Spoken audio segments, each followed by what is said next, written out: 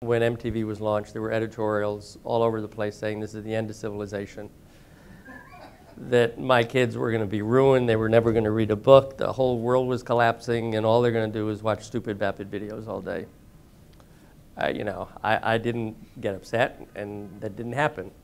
And I, and I hear about, and some people say that now, that the world is going to come to an end and our kids are all going to be stupid and they're all going to watch stupid, vapid videos. Give me a break. Uh, it's not going to happen. I think it's a great time for journalism. Obviously, it's a transition time, and transition and not being able to perfectly predict the future gives some people anxiety. But live with it. I, I, this is a wonderful time. I think journalism is alive and well and flourishing. I would bet you a nickel that there are more opportunities for your students to get jobs today than there were 15 years ago. It may be different kinds of jobs, but